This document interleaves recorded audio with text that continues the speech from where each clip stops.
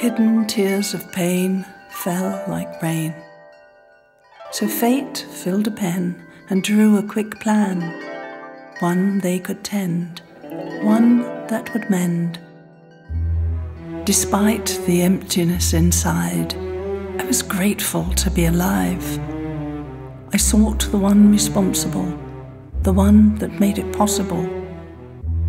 There he stood, battered and bloodied, meeting the demands of his command.